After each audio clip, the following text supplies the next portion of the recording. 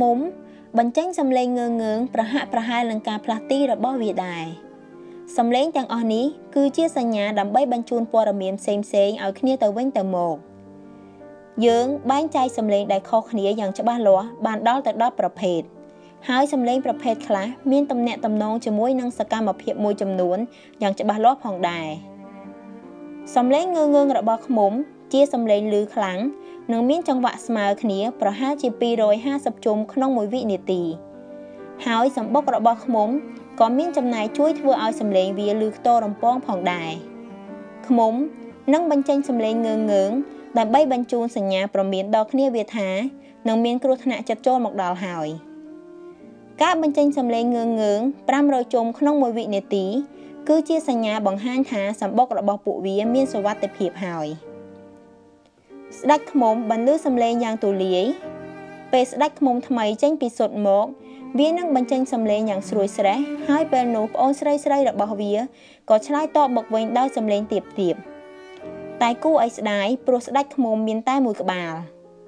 ពេលវាលឺសំឡេងឆ្លើយតបស្ដេចឃ្មុំថ្មីដែលទៅតែចេញពីសម្បុកនោះក៏មកចុចបំផ្លាញប្រឡោះដែលនៅសល់ដោយប្រើទ្រនិចរបស់វាចាក់ទម្លុះឬក្រញីបងប្អូនរបស់វាឲ្យដាច់រយះ ឃ្មុំប្រើជើងដើម្បីស្ដាប់ពោលគឺសញ្ញាជាសំឡេងនៅបរិវេណសម្បុកនឹងត្រូវផ្ដល់ឲ្យគ្នាតាមរយៈភាពខ្លាំងតិចនៃកម្លាំងញ័ររញ្ជួយរបស់សំឡេងប៉ុន្តែទោះជាយ៉ាងណាក៏ដោយ ការងារស្រាវជ្រាវដ៏ថ្មីបំផុតមួយតាក់ទងនឹងពុកមាត់ឃ្មុំ បានបង្ហាញឲ្យឃើញថា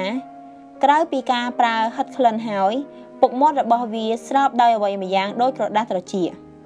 ហើយនោះក៏ប្រហែលជាត្រចៀករបស់វាផងដែរ។ នេះអាចបញ្យល់បានថា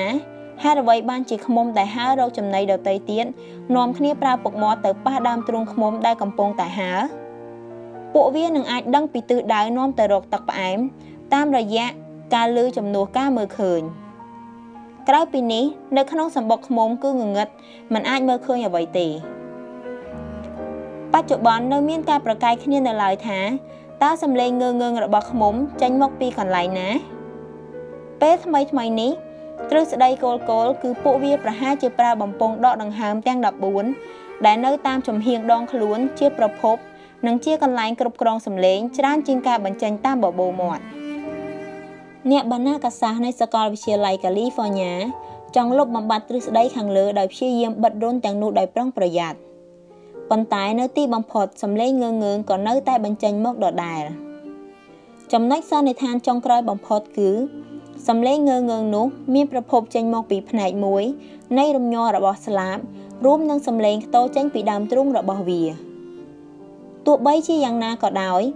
នៅពេលគេទប់ស្លាបរបស់វាជាប់ហើយក៏នៅតែមិនអាចបញ្ឈប់សំឡេងងើងើងទាំងនោះបានដដែលទោះបីជាធ្វើឲ្យចង្វាក់និងហ្វ្រេកង់ផ្លាស់ប្ដូរក៏ដោយ។